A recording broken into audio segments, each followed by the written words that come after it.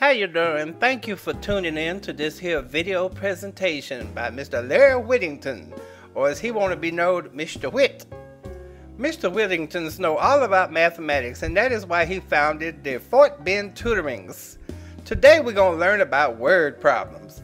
Not the kind where you curse people out, but the mathematical kinds. The kind I don't be understanding at all. Alright, get your ink pen and your pencil ready. Take notes, cause you finna learn from Mr. Whitt. Hello ladies and gentlemen, this is Mr. Whitt with Fort Bend Tutoring and today's tutorial is going to be over consecutive even integer word problems. Alright, this is going to be our third word problem video to you and we have many more to come. So let's check and see what we have in problem number one. Alright, that kind of rhymed, but I didn't mean to. But anyway, the problem that we have for you today is find three consecutive even integers whose sum is 84. When setting up consecutive even integers or odd integers, it's going to be the exact same setup every single time. Why? Because even and odd numbers are two places away from one another. In other words, if I'm looking at odd numbers, 1, 3, 5, 7, 9, they're all two places away from one another. The same thing applies to even numbers. 2, 4, 6, and 8 are all two numbers from one another. So therefore, the setup for each of these problems are going to be identical to one another. Keep that in mind when setting up either consecutive even integers or consecutive odd integers. The next thing to keep in mind is when possible, you're always trying to create one equation using only one variable. So you definitely want to just keep things simple if you can. All right, so let's do just that. So in problem number one, we're asked to find three consecutive even integers whose sum is 84. I'm going to start out knowing that my first number, I don't know what it is. So that's going to be my variable. So I'm going to say the first number is x. That's my variable x. The second number is going to be two places from that. So it'll be x plus 2. The third consecutive even integer is going to be four places from my original number. So that value is going to be x plus 4. So the first thing we do always is define our numbers, and that's what I did. I said I don't know what the first number is, but I do know the second number is two places from that, and that the third number would be four places from that as well. So from there, we're going to set up our equation now. And the equation is going to be all three of these values added together. So the equation looks just like this. It'll be x that's the first number, plus x plus 2, the second number, plus x plus 4, the third number, which all has to equal to 84. Once I have my equation set up, we can then go ahead and solve for the variable by combining like terms and isolating the variable. So I have 1, 2, 3 x's, so I end up with 3x plus 2 plus 4, which gives me 6, and that will equal to 84. Once I have this set up, I can then isolate the term with the variable by subtracting 6 to both sides once I've done that, I can bring down my variable 3x, which equals to 84 minus 6, and that gives me 78. Then I'll be dividing both sides by 3, and x will equal to 26. So now that I have this, ladies and gentlemen, I know that my first even number is going to be 26. So x equals to 26. Then to get the next number, I add 2 to 26 to get 28. And then adding 4 to 26, that gives me a result of 30. So now, if you wanted to check this to see if it's correct, you can simply add 26 plus 28 plus 30 to see if it equals to 84. I know that 26 plus 28 gives me 54, and then 54 plus 30 gives me 84, so that works just fine. So those are your solutions, ladies and gentlemen, 26, 28, and 30. And that's the solution to problem number one. All right. In our next problem, problem number two, we have the sum of three consecutive even integers is 50 more than the third integer. Find the integers. So once again, I'm dealing with three consecutive even integers. So that means I'm going to be setting this up like so, knowing that the first number is an unknown value to me. I don't know what that is. And then the second number is going to be two places from that original number. So that'll be x plus 2. When I get to my third value, it'll be four places from the original number. So that's going to be x plus 4, just like that. Then I'm going to follow along with what they are saying that this is going to equal to. They said that the sum of the three consecutive even integers is 50 more than the third integer. So my setup here is going to be x plus x plus 2 plus x plus 4 adding those three consecutive even integers together, and it says that it's going to be 50 more than the third integer. Well, my third integer is x plus 4, and I need to add 50 to that so that things balance out. And that's because in our word problem, it said that the sum of the three consecutive even integers is 50 more than the third integer, and that's why I set it up as x plus 4 plus 50. All right, now I want to solve for the equation. So that means I'll be starting out by combining like terms. So 1x plus 1x plus 1x, that gives me 3x plus 2 plus 4, which is still 6. And then on the right side of that equal sign, I'll bring down my x, and then 4 plus 50 equals to 54. From there, I'll be subtracting x to both sides of the equal sign. This gives me 2x plus 6, which equals to 54. And then I'll be solving for the term with the variable by subtracting 6 to both sides. This gives me 2x, which equals to 54 minus 6, which is going to give me 48. And then I would need to divide both sides by 2. All right, so dividing both sides by 2 here, I'll end up with x equaling to 24, just like that. So I know my variable x equals to 24. So I'm going to go ahead and set that up by saying x equals to 24. And then 24 plus 2, that gives me 26. And adding 24 plus 4, that gives me 28. And these will be my three consecutive integers, such that the sum of these three consecutive integers would be 50 more than the third integer. All right, and those are my solutions, ladies and gentlemen done and done. Just like that. In problem number three, we have the following word problem. It says to find three consecutive even integers if the first is two-fifths of their sum.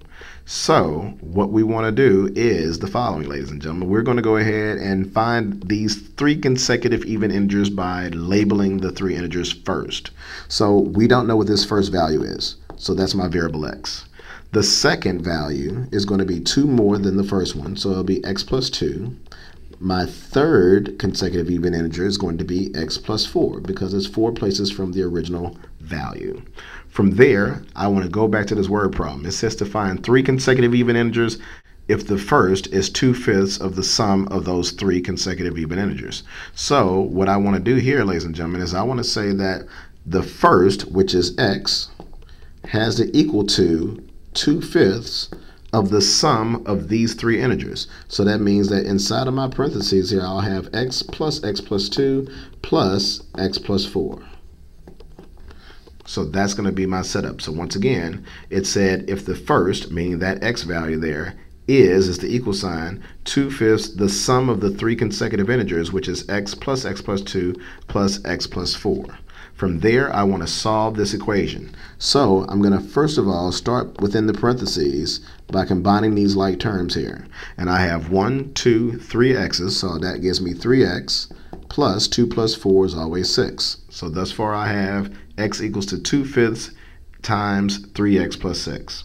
From there, I'm going to get rid of this fraction here by multiplying both sides of the equation by 5. So this will be 5x, and this will be 5 times 2 fifths times this 3x plus 6.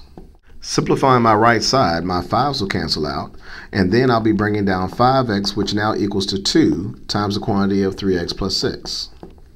From here, we can go ahead and distribute the 2, and once I do that, by the way, I got my arrows popping on that, I'll end up with 5x equals to 6x plus 12. Next, I'll be subtracting 6x to both sides, and this gives me a result of after I go ahead and line that up there, I'll end up with negative x equals to positive 12. So I'm going to now divide both sides by negative 1. That's going to change the sign on that variable to give me x equals to negative 12. So negative 12 is my value of x, ladies and gentlemen. So let's go back to our original setup here.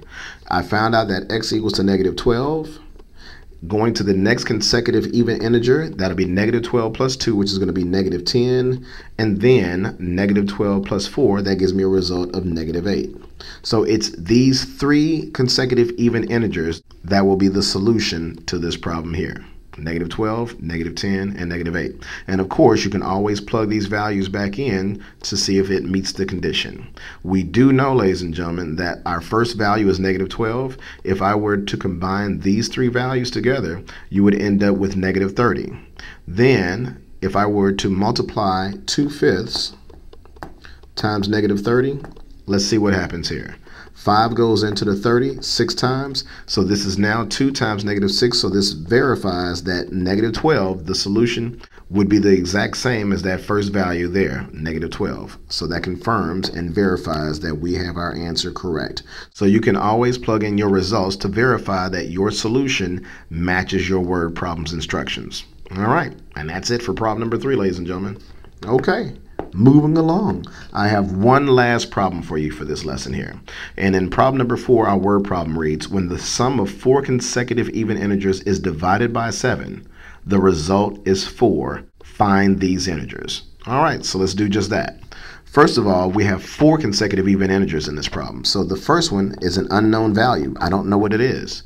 My second consecutive even number is going to be 2 more than my first. So that means I'll have it set up as x plus 2. The third consecutive even integer will be x plus 4. And then my fourth consecutive even integer is going to be x plus 6. All right. Now, our word problem says that when the sum of four consecutive even integers is divided by 7, the result is 4. Well, that means we can set it up this way. Let's see what we can do here. We can say that the sum, adding all these together, which is going to be x plus x plus 2 plus x plus 4 plus x plus 6 is divided by 7.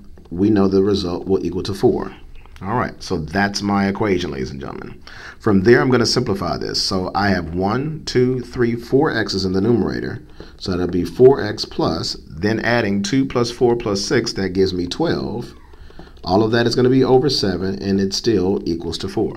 What we can do from here in order to get rid of this denominator is multiply both sides by 7. So that's exactly what I'm going to do. When possible, I get rid of fractions, ladies and gentlemen, if you didn't know. So on the left side of the equation, my 7's will cancel out. I'll be bringing down 4x plus 12, which equals to 4 times 7, which is 28. Isolating my variable, I'm going to subtract 12 to both sides. 12's will cancel out. I bring down 4x, which now equals to 16. I'm going to then divide both sides by 4. All right, so by doing that, I'll end up with x equals to 4.